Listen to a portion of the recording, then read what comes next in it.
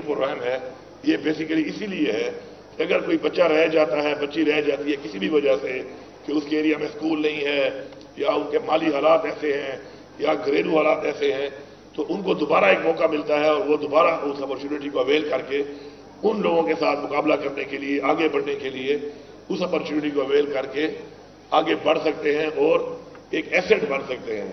अगर हम अपने, अपनी रियासत की जो जिम्मेदारियाँ हैं उसमें कोताही करके अगर हम किसी को अपॉर्चुनिटी ना दें, और उसके बाद वो एक लाइबिलिटी बन जाता है, उसी कसूरवार रियासत है। तो रियासत को अपनी उन चीज़ों को बेहतर करके, अपने उन लोगों को लाइबिलिटी से एसेट की तरफ़ कन्वर्ट करना जो है रियासत की ज़िम्मेदारी है, और ये उसके लिए एक बेहतरीन प्रोग्राम है। माशाला बारह सौ सतासठ ये सेंटर इस वक्त काम कर रहे हैं।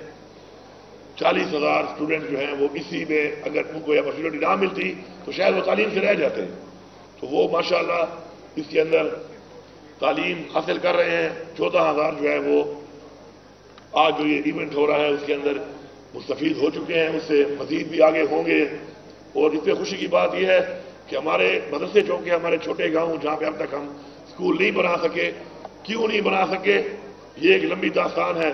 रियासत माँ होती है, लेकिन माँ ने अपनी जिम्मेदारियाँ उस तरह कम अज कम इस रियासत ने अदा नहीं की और आज भी शायद नहीं कर रही। आप देख रहे हैं कि माँ वाला किरदार बाद जो जब देखते हैं तो माँ वाला किरदार इस रियासत के अंदर बहुत सी चीज़ों में नज़र नहीं आता।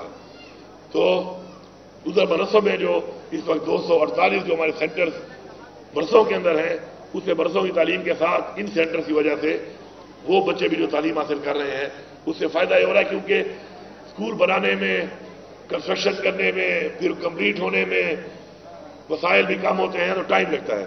और जो मेरा एक सोच है, जो इमरान खान की एक सोच है जिससे हमें काम करना है, वो ये है कि हमें बिल्डिंग नहीं, हमें तालीम देनी है, हमें अस्पताल नहीं, इलाज देना है। अस्पताल वो है जहाँ पे इलाज हो, स्कूल वो है जहाँ पे तालीम हो। इसी तरह दफ्तर नहीं, हमें सहूलत देनी है। दफ्तर वो है जो सहूलत दे रहा है। तो उसके लिए इस दफ़ा हमने यही प्लान किया कि उनके स्कूल बनने में टाइम लगता है। अब तक बहुत सारी जगहों पे स्कूल नहीं है प्राइमरी है तो मिडल नहीं है मिडल नहीं तो हाई नहीं है।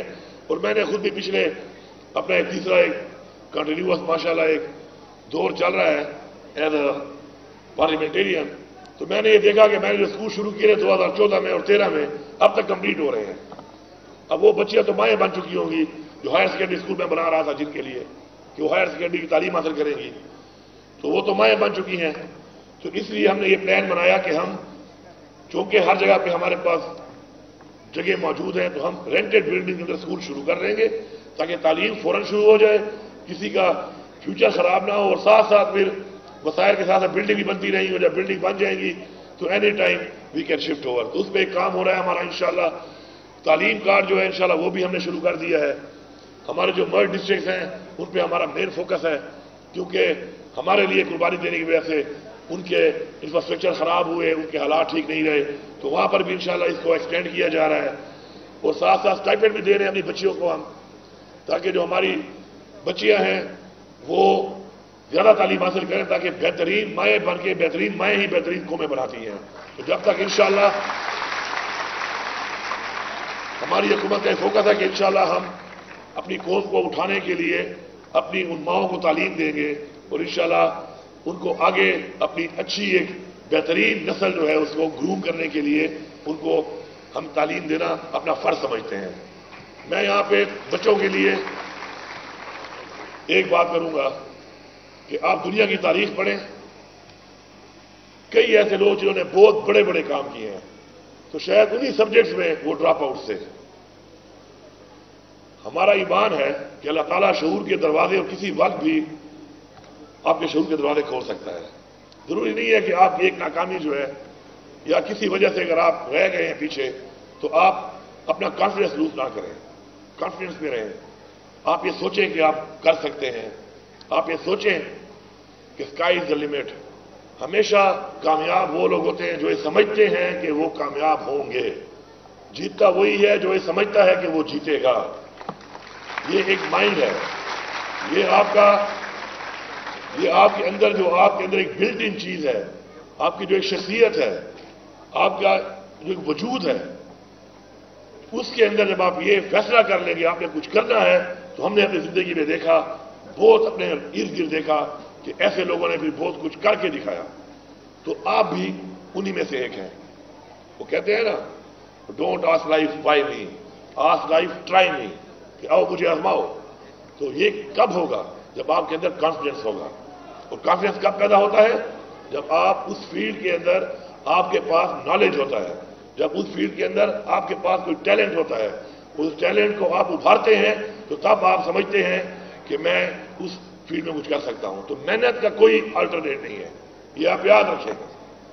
मेहनत आपको करनी पड़ेगी। आगे बढ़ने के लिए, मुकाबला करने के लिए कोई अगर ये समझता है कि मेहनत के बगैर आगे बढ़ेगा तो वो भूल जाए आगे बढ़ना। मेहनत सबसे पहले आपको करनी पड़ेगी। फिर अपने जो टीचर्स हैं आपके, उनका आप एहतराम करें। क्योंकि टीचर्स ने आपके अंदर वो चीज़ डालनी है जो आपको ज़रूरत है। ठीक है, सख्ती भी करेंगे बाद अवकात सख्ती ज़रूरी भी है। मैं इस चीज़ का कायल हूँ कि सख्ती थोड़ी बहुत होनी चाहिए। हमें इस्लाम में ही बताया गया है कि थोड़ी सख्ती अपने बच्चों पे करें। हाँ हाँ सख्ती में टॉर्चर नहीं होना चाहिए। सख्ती ये है कि आप उनको तंबी करें कि आप ये नहीं कर रहे, ठीक तो आपने ठीक करना है। अब किसी को एहसास दिलाना इस चीज़ का कि वो सही है या गलत है, उसके बहुत तरीके हैं। साइकोलॉजिकल तरीका भी है उसका।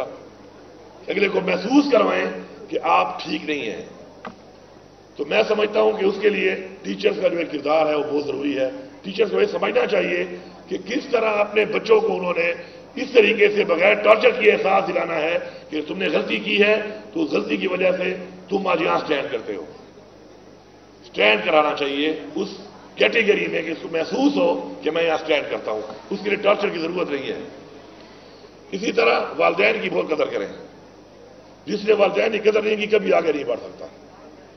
ये याद रखें आप और आपको एहसास तब होगा जब वालदेन बनेंगे आप। अभी आपको एहसास नहीं है इस बात का। आप गिले भी करते होंगे, आपको लगता होगा।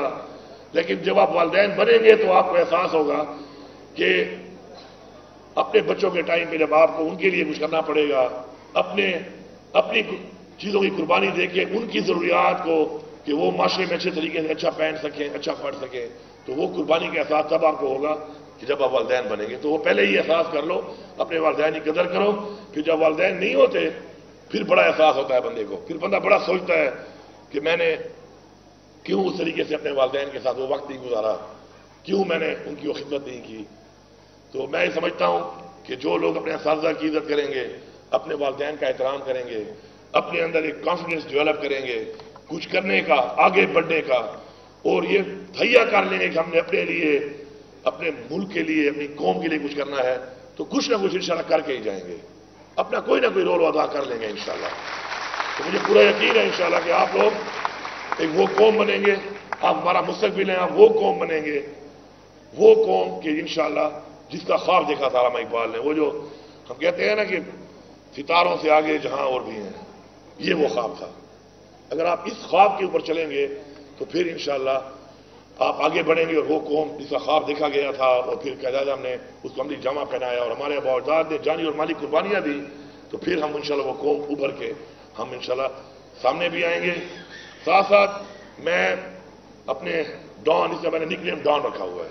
ये वो वाला डॉन नहीं है, ये मुझे पसंद है तो मैं इसको डॉन कहता हूँ। तो मैंने इनको बताया इंशाल्लाह कि हम इस चीज़ के भी काम कर रहे हैं। उसमें इंपॉर्टेंट चीज़ ये है कि आने वाले इंशाल्लाह इस बजट के एंड तक हमारा ये फैसला है कि कोई बच्चा भी मैंने कहा है कि वो बगैर फर्नीचर की ज़मीन पे हमारे सूबे में नहीं बैठेगा। क्योंकि काफ़ी काम हो भी रहा है, मजीद काम कर रहे हैं।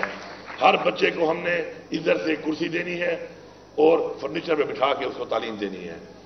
इसी तरह व्हाइट बोर्ड इंशाल्लाह हम शुरू करने लगे हैं।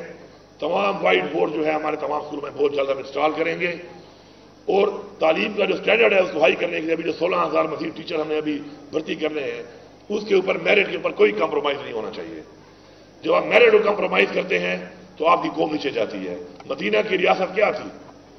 मदीना की रियासत में हजूर पाक सल्लल्लाहु अलैहि ने एक जो चीज़ एस्टेब्लिश की, वो इंसाफ था। इंसाफ क्या है? इंसाफ मेरिट ही है। आप जब इंसाफ करते हैं तो वो मेरिट है हर एक के साथ। तो मुझे इंशाल्लाह पूरा यकीन है कि हमने मिलकर काम करना है, और मैं ये समझता हूँ कि हमारे कुछ गाँव है, होते हैं, और किस तरह की कोई कंप्लेंट आती है कि फर्नीचर टूट गया वो फर्नीचर नहीं है स्कूल में तो उस गाँव में बड़ा जमींदार भी होता है। कोई ऐसे लोग भी होते हैं कि जो काबिल हैसियत होते हैं। तो मेरे ख्याल में अगर मैं एक गाँव का रहने वाला हूँ और मेरे गाँव में किसी एक क्लास में कोई फर्नीचर नहीं है तो ये बड़ी ज़्यादा है। ये आप ओन नहीं कर रहे। कितने शर्म की बात है जब एक गाँव का नाम आए और उसके बाद उसकी पिक्चर आए कि इसके अंदर जो है फर्नीचर नहीं है, बच्चे ज़मीन पे बैठे हैं और आप जाके बड़े फखर से कहें, किसी को मिले, आपसे भी पूछे, आप कहाँ के हैं? तो आप बताएँ, मेरा वो गाँव है और उससे वो पिक्चर देखी हुई हो। और आप इधर फिर रहे हो लैंड क्रूजर में। या किसी बहुत अच्छे होटल में खाना खा रहे हो, किसी महफिल में आपको ऐसे लोग मिले तो आप कैसे फेस करेंगे ऐसे लोगों को? कि आप इतने वसायल होने के बावजूद अपने बच्चों को फर्नीचर प्रोवाइड नहीं कर सकते। देखिए, सरकार पे सारा मत छोड़ो। सरकार पे छोड़ के तो हाल देख लिया आपने। सरकार पे छोड़ के तो हमने हाल देख लिया। आप सरकार को ऑन करो। ये सरकार भी आपकी है। आप ऑन कर लो। आप पूरा करके फिर सरकार के पास आ जाओ कि जी, मैंने ये पूरा कर दिया है, आप मुझे ये कर दें, मैं आपको यकीन दिलाता हूँ, मैं आपको पूरा कर दूँगा।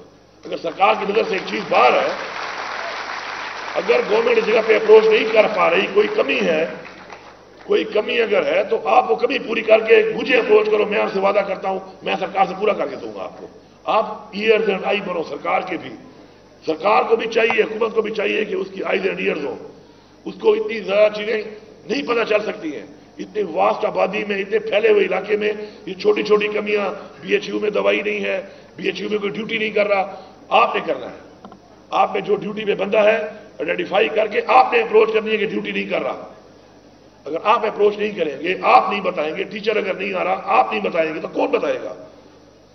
तो इसलिए ओनरशिप जब आप लेंगे तो वो कौमें, अजीम कौमें बनती हैं, जो कौमें ओनरशिप लेती हैं, अपनी कौम के हर सेक्टर की, अपने कौम के हर बच्चे की, अपने कौम के हर फर्द की, अपने बच्चों के लिए और अपने वालदेन के लिए जो करता है उसको कोई ऑनर नहीं करेगा। ऑनर वो होगा इस जहान भी और अल्लाह के सामने भी, जो कौम या किसी और के बच्चे या किसी और के वालदेन या किसी और के लिए अल्लाह की मखलूक के लिए कुछ करेगा। आखिर में मैं उन सब लोगों का जो ये काम कर रहे हैं, ये अजीम काम है, उन सबका शुक्रिया अदा करता हूँ कि वो इसे मेहनत करके उन बच्चों को जो ड्रॉप आउट हो जाते हैं और बाद में उनको अपॉर्चुनिटी दे के एक मैार और मकाम तक लाने के लिए काम कर रहे हैं। चाहे वो गवर्नमेंट के लोग हैं, चाहे वो इदारे हैं जो हमारी इस पर हेल्प कर रहे हैं वर्ल्ड बैंक है यूनिसेफ है।